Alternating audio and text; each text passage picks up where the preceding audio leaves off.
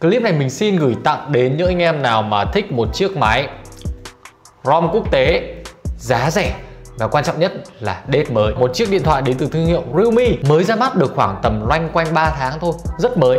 Và quan trọng nữa là nó giá rẻ anh em ạ. Con này nó chỉ có uh, hơn 3 triệu thôi. Ok, Realme V50 nhá.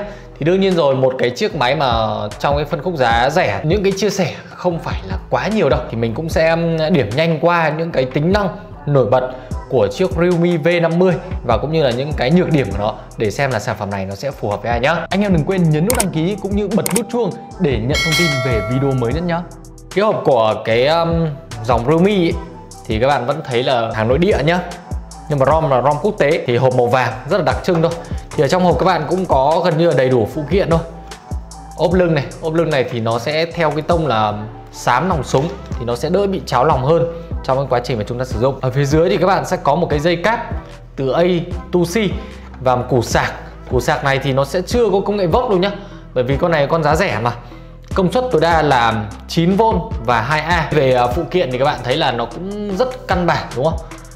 Không có gì là màu mè. Cái cảm giác mà mình cầm nắm ở trong lòng bàn tay mình thấy là Máy có trọng lượng ok, không hề nặng đâu. Con này uh, có dưới 200g thôi. Ngon chưa? Đây là hai sim và một thẻ riêng biệt à, một số ờ, bác lại rất thích cái tính năng này. Quan trọng là cái thẻ nhớ của các bác ờ, lưu quá là nhiều dữ liệu rồi nên cắm luôn vào đây để sử dụng. Đấy khung thì vuông vắn này khung thì trending nhá.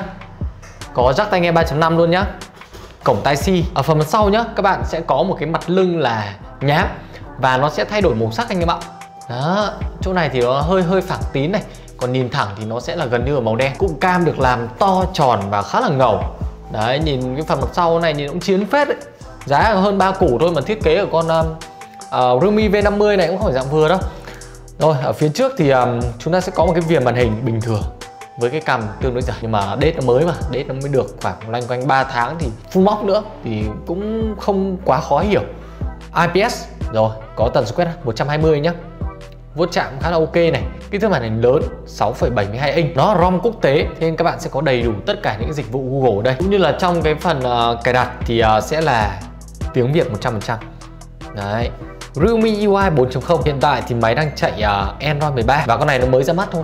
Thế nên nó sẽ còn được cập nhật thêm uh, những cái phiên bản Android nữa nhé uh, hiệu năng thì nó sử dụng là Dimensity 6100 cộng. Một con chip khá là lạ đó, nó cũng không phải con chip quá mạnh đâu. Tiến trình 6 nanomet có hỗ trợ 5G RAM 6GB bộ trong 128GB và được mở rộng bằng khe cắm thẻ nhớ nhất với con chip Dimensity 6100 thì theo như mình sử dụng ấy, mình thấy thì nó cũng chỉ nên làm tác vụ bình thường thôi.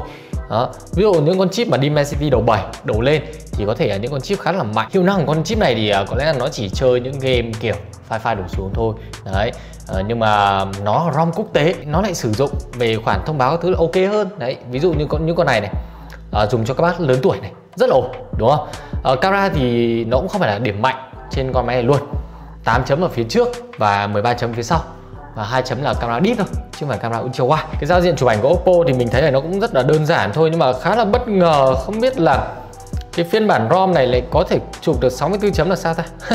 mặc dù là cảm biến chính của nó chỉ là 13 chấm selfie phía trước thì uh, khá định mắt nhỉ? Và đương nhiên rồi với những cái con máy mà kiểu giá rẻ mới đết mới ấy, thì thường là nó sẽ luôn có cái um, viên pin trâu.